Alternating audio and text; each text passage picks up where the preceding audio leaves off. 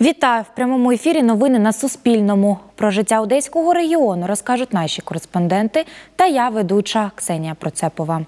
В Одеський дитячий консультативно-діагностичний центр, що на Дворянській, закупила апарат для ультразвукової діагностики. Про це повідомляє Одеська міська рада.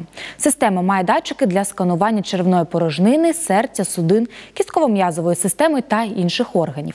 На даний час приміщення рентген-кабінету проводять капітальний ремонт. Згодом там встановлять нову рентгенографічну систему. Її та апарат ультразвукової діагностики закупили за кошти міського бюджету.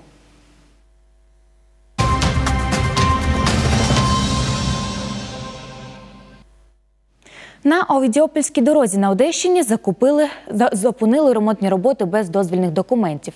Фахівці інспекції з благоустрою міст, департаменту архітектури та містобудування Одеської міської ради в ході моніторингу Малиновського району зафіксували облаштування в'їзду-виїзду на проїжджу частину дороги за адресою Овідіопольська дорога 3. Без дозвільної документації ремонт на ділянці дороги проводило товариство з обмеженою відповідальністю Бласт.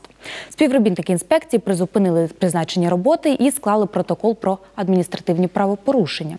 Наразі наші кореспонденти намагаються зв'язатися із представниками товариства.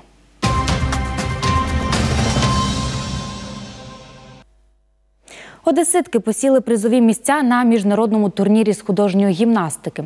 Так, з 6 по 8 грудня у Львові відбувся 24-й міжнародний турнір Багіра з гімнастики.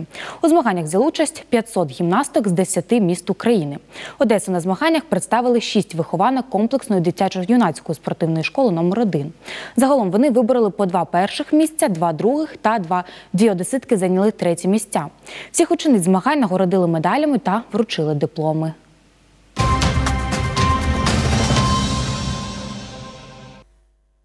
І наостанок про погоду. Сьогодні по Одесі області очікується хмарна погода без опадів, вночі можливий дощ. Про це повідомляє гідрометцентр Чорного та Азовського морів.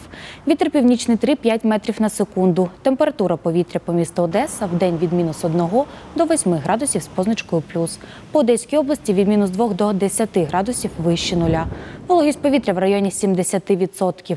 Температура морської води 6 градусів. І наразі це всі новини. Побачимось у наступних випусках. А я передаю слово своїм колегам із редакції ранок.